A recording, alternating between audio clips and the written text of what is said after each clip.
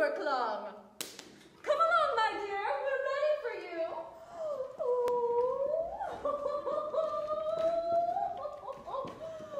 I sent her off to boarding school in Germany to study acting. but she chose to study opera. Uh, you did say you're casting an opera?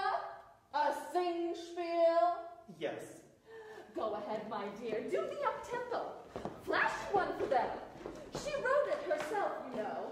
Composer, singer, plays the piano. I'm sure she's as wonderful as you are. Oh. Please, my dear, go ahead.